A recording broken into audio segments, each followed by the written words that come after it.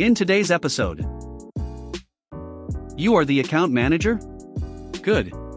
Now, they are yours to lose. Parking tickets in a war zone? Yes, sir, will do. Send it exactly like this. So let's get started. You are the account manager? Good. Now, they are yours to lose. I work as a manager for a reputed institution in the learning, development, and consulting field. The person who hired me, five years ago, had to quit soon after, within six months since, and hence I had a new boss. We also grew from a team of three to eight soon after. Now the person who hired me was a wonderful, patient, respectful man who had genuine interest in his role, his department, and the firm. The new boss, on the other hand, who had held various posts within the organization before getting this role, is a straight up self obsessed, narcissistic, arrogant prick who is intolerable when he's having a good run and a straight up jackass when things didn't go his way. I have been reporting to him for close to five years now, and I have grown a lot during that period. I had completed my second master's, gained respect from all our clients, and I always go above and beyond when it comes to client delight. Fast forward to this Monday. We are back at work since last March, lockdowns, just that day. We were called on a meeting to discuss the past year and the way forward. We have had a rough year financially, and we had to achieve some ambitious targets. While giving the department head, no, my boss is only a middle manager and not the department head, a quick rundown on my key accounts, I had outlined a few conversations I had been having with few prospective new clients. He was impressed, Later after the meeting, my boss called me aside and gave a very crude speech about how I should focus more on my delivery areas and only pass on future business prospects to him since he's the account manager. He meant I shouldn't even be continuing to hold even preliminary conversations and inquiries with current clients for future prospects and potential clients. It was an embarrassing conversation for me because I have not been getting enough recognition and have been losing my interest in continuing with my current employer. And I was only going above and beyond my sales wouldn't be rewarded anyway with any monetary compensation or bonus. This talk flooded me with memories of all of the times my boss had been treated me wrong. QMC I have since been calling off all prospective clients and passing off his contact as my boss, as the one to continue discussions with, and that I would not be part of the calls. Since I had developed a mutual respect and trust with all of my current and prospective clients, they were curious to know why I'd not be taking our discussions forward, a huge departure from the way they have known me as a client facing manager and generally as a person. I have simply been telling them what my boss told me I'm simply a manager, and my boss is the account manager. I should focus more on my activities, and one of them is passing on all business prospects to him. I also promptly told them that I'm not allowed to answer their queries even if they are preliminary. Now some of my clients have been with us for as long as I have been here. Some of the new prospects are from the network I have built through my current clients and their friends.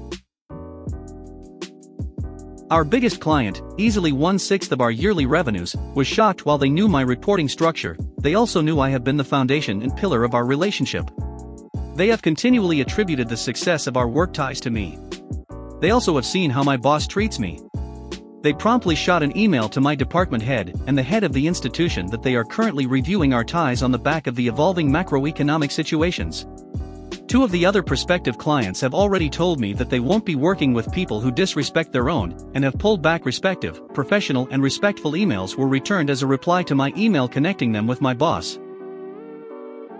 So I'm off for the weekend with a renewed hate for my workplace.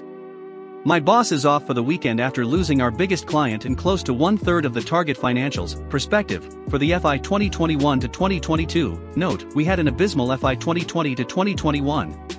My department head is off for the weekend after reviewing some of these emails with my boss. The institution head has called me in for a quick chat next week. Update My boss just emailed me, copying my department head, who already knows about my Monday chat with the institution head, asking to set up a call between us, department head, boss, and me, and my favorite client, who contributes about one sixth of our revenues, at the same time as my chat with the institution head. I am not acknowledging slash responding to the email because weekend. Update I woke up to a reply email from the department head asking my boss to postpone the call with the client until Wednesday. Boss, further to our discussion, let's move the call with the client to Wednesday, blah blah blah. Update, my favorite client had paid upfront a huge amount towards a new engagement about a year or so ago. They had to make a payment for an ongoing engagement sometime this week, but today we have been asked to adjust that advance against the invoice due. My institution had asked me about how we came to this point we spoke in length, and I told him how and why I had to write those emails while I have been bringing in leads and clients, my name has never been on the accounts. Since my boss had not given me top rating in performance appraisals the past year, I took his instructions on focusing better only on my deliverables and leave all account management to him. What happened next was not in my control. My boss had clear visibility on my contact with them even up to last Monday, and he had had no qualms about it till then. I pulled out my emails and told him that I had merely connected my boss formally as the next logical step in closing the deals. We are due for a formal meeting on Friday. My head of department, my boss, the institution head, and me. I may be given added responsibilities going forward. Fingers crossed. Update after the Friday meeting. 1. The head of my department brought the institution head up to speed on the recent developments. My boss clarified to the room what his instructions to me were. 2. When asked to speak, I presented them some email samples and clarified that I had indeed followed instructions. I also presented copies of my previous appraisal reports. 3. I asked for additional responsibilities with relevant compensation. My boss was not so fond of this request, and the head of my department concurred with him. Thankfully, the institution head was willing to give me an opportunity. For, so my first task is to engage with my largest account and bring them back to the table whatever sales commission that my boss used to get from this account will be mine to earn. This has painted a huge target on my back since my reporting structure remains the same. 5. I'll train for the new role under my current boss himself, which sucks. All new leads that I bring in has to go through my boss henceforth again a point of contention because my additional responsibilities clearly include bringing new accounts, but I still would be reporting to my boss who is an account manager himself. Parking tickets in a war zone. Yes, sir, will do. I was in a prison camp in Iraq, and the MPs in charge wanted us to basically give parking tickets. But if you're willing to put in the effort, you can do it well. The no-talent ass clowns running our base in the desert sucked so bad that they had the prison part of the prison camp taken away from them, but they were still in charge of the base itself, and they weren't going to let anyone forget it.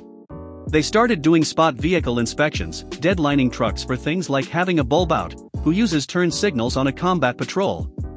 At one point they decided to use QRF as meter maids. QRF is the Quick Reaction Force. It was a shift that you might get once or twice a month that meant being ready to run out and back up a patrol or whatever. Effectively, it was a day or half day off. Gear up, load the trucks, and then just keep your radio nearby. Worker bees having downtime, while getting credit for working didn't sit well with battalion, so when we had QRF at night we had to check every vehicle on post and turn in a list of all unsecured vehicles when we came off shift at 6 the next morning. In addition to giving QRF some stupid stuff to do, it would harass all the other units on post and use their own troops to do it. Army trucks get locked by running a cable through the steering wheel and padlocking it. They began this assignment by giving a red padlock to QRF so they could secure an unsecured truck, and the driver would have to report to the sergeant major to get the key. That lasted a couple nights until one guy was so offended by the idea that he threw the padlock back at them. Me? I didn't have an insubordinate bone in my body, I complied enthusiastically, going above and beyond the call of duty. For my QRF shifts, I got the teams loaded up, stashed my gear in the truck, and then prowled the base on foot with my clipboard. When I found an unsecured vehicle, I hunted down the guy who owned it. I'd find someone from the unit it was assigned to and ask who they thought it belonged to and work from there. Soon enough, the truck was either secured, or I could say in good faith that it was on its way to being secured and leave it off my official list. My official list of unsecured vehicles, the one I turned in the next morning for the sergeant major to read, only had vehicles that were assigned to battalion HQ, and no one could say that I failed to report the others because they weren't unsecured when I was done with them. And now the background, if you care to read it. When the US invaded Iraq, my main reaction, after explain why this is needed, was detached interest.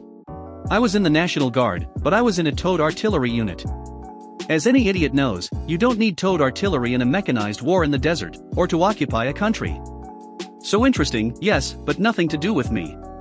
Well, those Pentagon guys who spend their careers planning for things whipped up a plan. The army had tons of artillery in the guard, and no need for them in Iraq. What they needed was tons of MPs to escort convoys and secure rear areas. If it's not frontline combat, it's the rear area, and artillery units happen to convoy themselves and keep themselves safe in rear areas. It's a simple round peg and round hole solution. So they came up with a neat way of fixing that problem, but there's always going to be a mess, isn't there? The idiots who started the war lived in an alternate reality that looks so innocent compared to what their successors have built. Because of their insistence that we would be greeted as liberators and that surely 125,000 troops would suffice, the Pentagon was forced to plan and conduct the actual invasion based on those fantasies. Months into the occupation, the administration finally had to recognize that A. We were going to have to occupy the place for quite some time and B. The troops who invaded in March couldn't simply stay in Iraq forever. So the Pentagon was finally allowed to whip up a plan to occupy a country with a growing insurgency and keep it staffed indefinitely. It was ugly, but it worked. The plan wasn't as simple as park your howitzers, put on MP armbands, and get on the plane, but it was close. One bit of the ugliness of the plan is that MPs do things other than rear area security. Codfish Joe's artillery unit, and a few others, went to a prison camp. One run by absolute idiots. They were so bad, Brigade kicked them out of the prison part, literally putting the artillery guys in charge of it and splitting up the real MPs, assigning a few of them to each of our platoons. Yes, Abu Ghraib actually looked at another prison camp and said you're doing it wrong. Send it exactly like this. As part of my job working in complaints I write letters to customers. We don't use templates and each letter is tailored to the individual. Sometimes customers raise multiple complaint points and each point is carefully addressed in the letter we send. We outline everything the customer is unhappy with, our full investigation, and what we are doing to put this right. Or alternatively explaining carefully why their complaint is not justified.